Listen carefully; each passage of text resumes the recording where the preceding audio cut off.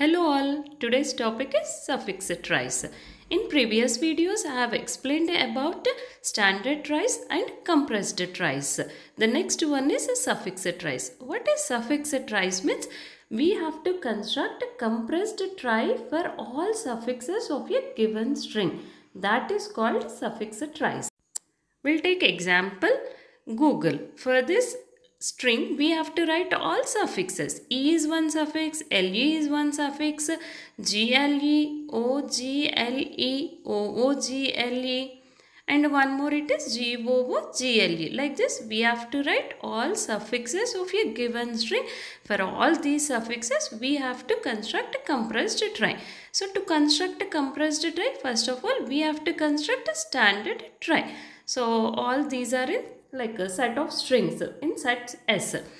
First I am going to construct a standard trie. Always the root is empty. The first string is E. There is only one character in standard trie. For every node we have to assign only one character. The next string it is L and E. Next G, L, E. We don't have node for G so we have to create G, L and E. For O also there is no node for O. We have to create O, G, L and E. One more it is OOGLE. For O already there is node. We have assigned O to one node. So we can use the same node. Again no need to create node for O. So OOGLE. And one more it is Google. G-O-O-G-L-E. For G already there is node. Same node we can use. Again no need to create another node for G. So G O for remaining characters we have to create nodes. So this is a standard trie. So already we have discussed in standard trie the problem if number of levels or more the searching process is difficult it takes more time. So this is standard trie. Next I am going to construct a compressed trie. In compressed trie we can reduce number of levels so that easily we can search given string. Again in compressed trie also root is empty and next E. There is only one character so we cannot compress with other characters so directly I am going to draw for E. And from L to E so from node to leaf node there is only one path we can combine these two nodes. From L to E there is only one path so we can combine L and E. So like this we can compress the nodes. See from G to E there are two paths to traverse from G to leaf nodes. So you cannot combine with another nodes.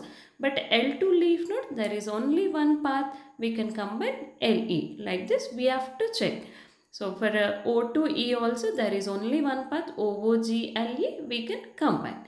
And the next from O to traverse from O to leaf node two paths. So you cannot combine. And from G to E there is only one path we can combine. So like this we have to compress the number of levels so that easily we can search strings, search suffixes of a given string. So this is about compressed trie. And next we'll represent compressed trie using numbers. So example is Google and index starts with 0. 0, 1, 2, 3, 4 and 5. Total 6 characters. Index starts from 0 to 5. So root is empty. E. Have to represent E. E starting index and ending index we have to write 5 and 5. And next L, E. Starting index is 4.